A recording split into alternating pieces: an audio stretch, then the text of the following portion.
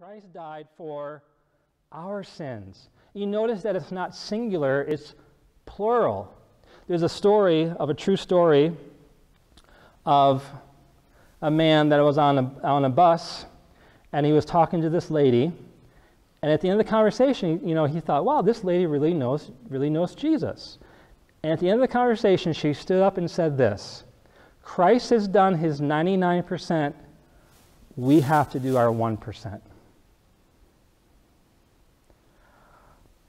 No.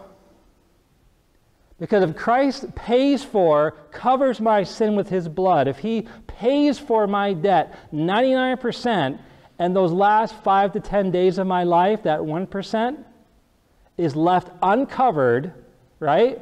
That 1% is on me, and I have to pay for it. So when Jesus is paying for the sins of others, the lies, the theft, the lust, the rebellion, the idolatry, right? So Aaron Wentz is not sinless. I might sin less. Praise the Lord. I, I do sin, I think, less.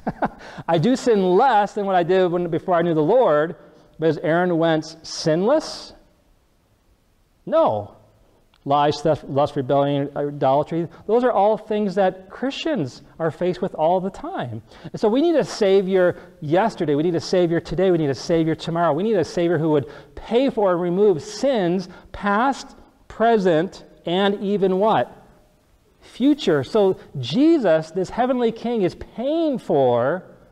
So you, can you see what's happening here? When someone does not understand the gospel and they hear a false message, Every religion, every denomination, every person is saying, I've got to put in my 1%. I've got to put in my 5%. And they're going to hand God their report card of their good deeds on Judgment Day, and they're going to hand the holy, perfect King their report card.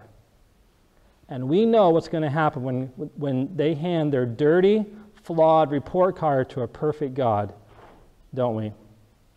It's going to be game over it's not going to be good enough. But if somebody perfect absorbs my consequences, past, present, and future, so that I could be totally guilt free, that's called good news.